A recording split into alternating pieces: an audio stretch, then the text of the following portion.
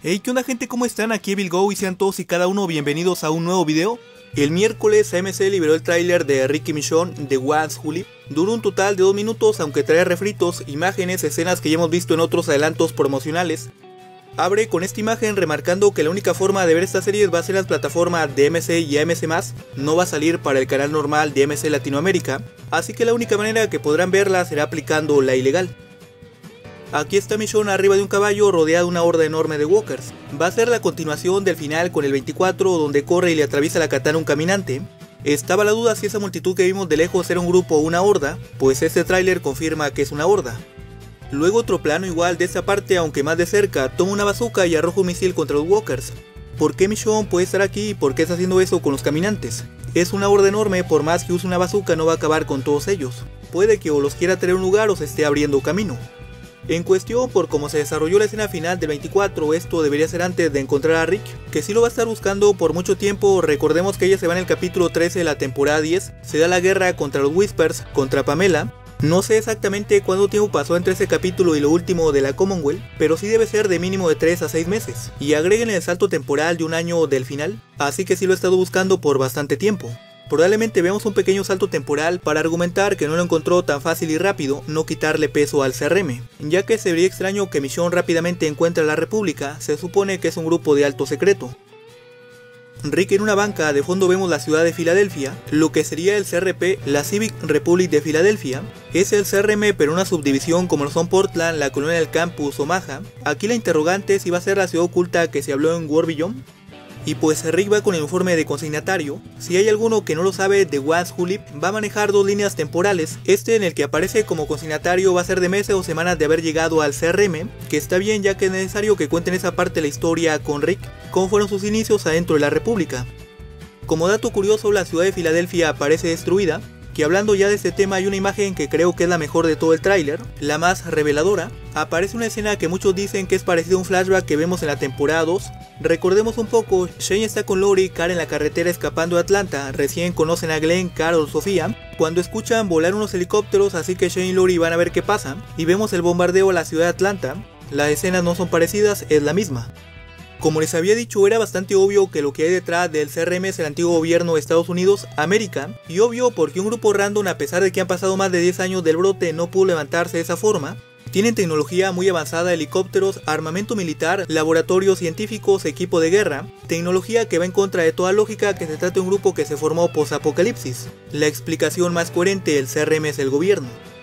Me parece perfecta la forma en cómo lo está llevando conectando Gimple, aprovechando bien los flashbacks y pequeños detalles que dejó Fran Darabont y Glenn Mazara. Este flashback lo hizo Glenn Mazara, salió por ahí del 2011-2012 y más de 10 años después se confirma que siempre fueron el CRM. Lo mismo puede pasar con aquel helicóptero que vio Rick en el capítulo piloto. Lo más revelador pues eso, una escena que confirma que el CRM siempre fue el gobierno. Obviamente la gente que mandó a bombardear las ciudades fue el gobierno para evitar que el virus se propagara, esterilizar ciudades, pero como ya vimos no lo consiguieron. De hecho en la imagen de Rick vemos que hicieron lo mismo con Filadelfia. Así que en definitiva CRM es el gobierno de Estados Unidos, va a ser el último grupo y más poderoso con el que va a pelear Rick.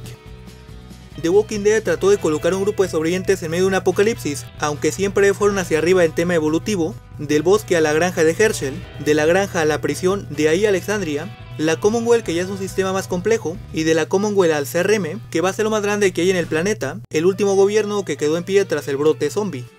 Hay una parte donde se escucha la voz de un personaje llamado Cafo, que creo que es el de rasgos afroamericanos, dice este es el ejército más poderoso de todo el planeta, reafirmando que el CRM es lo más grande y poderoso del mundo, dándole más peso y argumentando bastante bien por qué Rey después de tantos años no pudo salir del sistema CRM. Igual me parece perfecto cómo lo está llevando Gimple. Sí, son cosas que ya eran predecibles. Desde hace tiempo teníamos en la cabeza la idea que el CRM es lo más grande que hay en la Tierra que quedó vivo tras el brote. Me parece muy bien porque llegué a pensar que hacer teorías que se han hablado tanto desde hace tiempo, Gimple para sorprender haga algo diferente. Pero vemos que no le importó eso y se están cumpliendo gran parte de las teorías que hemos hablado, no porque las hayamos hablado aquí, sino porque son las teorías que mejor explican todo el trasfondo del CRM, las más congruentes. Después de que Okafor dice que son el ejército más poderoso del planeta, pasa una toma de los soldados. Este es el mayor general Bale, que si hay alguno que no lo sabe lo interpreta el actor Terry Quinn, creo que apareció en los. los soldados están haciendo una serie de filas. Los de adelante son los tenientes coroneles tipo Jadis, Elizabeth Kublick, incluso se logran ver algunos con gabardina. De hecho, son varios, probablemente estén a cargo de las avanzadas del CRM, pueden ser laboratorios como Warbillon u otras zonas militares. Atrás ya aparecen los que vendrían siendo soldados básicos, aunque con atuendos algo diferente a lo típico que hemos visto en la República. En Warbillon y Fear el uniforme era igual negro pero con cables. Una escena del mayor general Bale le dice a Rick solo voy a hacerte una pregunta y mirarte a los ojos Grimes, ¿por qué estás aquí? ¿Quieres matar o morir? Y Rick le responde míreme a los ojos señor, usted dígamelo. A pesar de que a Rick lo tiene seguramente bajo muchas amenazas no pierde la esencia, y tampoco es que le provoque miedo el mayor general Bale, aunque si revisamos el trasfondo, particularmente las palabras de Bale, quieres matar o morir, básicamente lo está amenazando. En palabras simples, o haces lo que te ordenamos o mueres.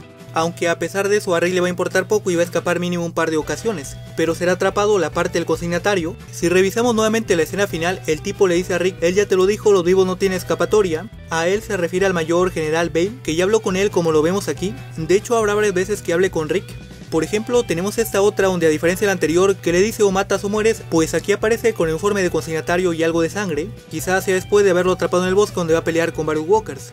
Pero Rick al principio, como les decía, no va a hacer mucho caso y escapará. Muy al comienzo no comprenderá el tamaño del gran poder del CRM. Será hasta como por la tercera vez que lo atrapen y lo amenacen ya bastante fuerte. Que si escapa igual a Alexandria no solo van a ir por él y matarlo, sino también por su familia. Ahí será cuando Rick haga clic y entienda que el CRM está muy bestia. Tiene que quedarse sí o sí por el bien de su familia y el propio. En otra parte aparece este personaje nombre Thor, le dice a Rick gracias Grace, él le pregunta por qué, me mostraste que no puedo escapar, mi teoría es que ambos van a llegar juntos con otros consignatarios a la República. Obviamente Rick se va a mostrar como más fuerte e inteligente, va a matar Walkers como si nada. Los otros personajes que llegaron con él, incluyendo a ella a Torne, se van a sorprender de las habilidades locas de Rick. Por eso al ver que escapó y con esas grandes habilidades no pudo burlar al CRM, lo trajeron de vuelta, mucho menos lo hará ella, dándole respuesta a Torne que es un lugar sin salida más imágenes de estos helicópteros, por ejemplo aquí de fondo aparece una ciudad en llamas, lo que les dije, al principio el gobierno CRM les dio la orden a los soldados de ir y esterilizar ciudades para evitar que el brote se propagara, Parece que en esta parte está atravesando unos campos de cultivo para llegar a esta zona que ya está prendida a fuego. Se trataría de un flashback que ya vimos con Darius Dixon. Escenas del principio del apocalipsis zombie le aportan mucho a la historia global. Y más ahora que contra la trama inicial del CRM conectándose con algunos eventos de la temporada 1. Esperemos que le dediquen por lo menos medio capítulo así como Darius Dixon en cómo la república dio la orden de acabar con ciudades completas.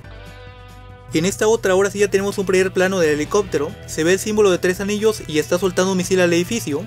Lo extraño es que ya está algo viejo y quemado antes de soltar la bomba.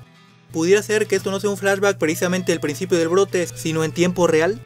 Podemos meter la teoría que esté atacando por ejemplo a Portland, de cómo el mayor general Bale mandó a atacar esta comunidad. En War tras el final de la serie la historia quedó inconclusa, muy abierta, puede que en The One's Who expliquen esa parte. Mirando otra vez la escena hubo un detalle que no me di cuenta y es que antes de que arroje el misil vemos que ya hay un helicóptero estrellado y después ahora sí les arroja el misil. Pudiera ser que todo esto sea una persecución a los rápidos y furiosos pero vía aérea. Por ejemplo, algunos militares hayan robado un helicóptero para escapar de la República, el mayor general Bale de la orden para ir a atraparlos ya sea vivos o muertos. Así que los soldados que tengan esa misión de perseguir al helicóptero robado, no les quede otra más que dispararle haciendo que se estrelle en el edificio, y para reafirmar que murieron les arrojen otro misil que sería esta parte, lo que vemos aquí. Nuevamente otra escena de los helicópteros, son varias las que aparecieron a lo largo del tráiler y con planos aéreos bastante buenos, obviamente se ve el presupuesto en The One's Who los 12 millones de dólares por capítulo.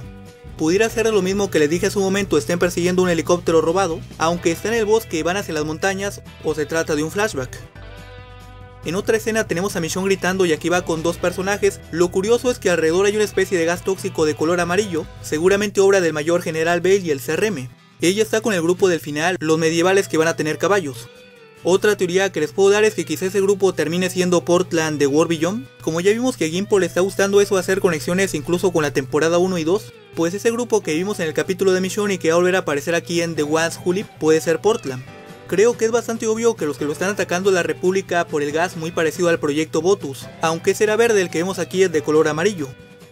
Y ya para terminar, revisemos esta última escena, un primer plano de Michonne. Se nota a kilómetros que se trata del momento exacto en que volver a ver por primera vez a Rick. Claro, después de los eventos de 9x5, no hay otro motivo para que Michonne ponga esa cara, esa alegría extrema, total, absoluta.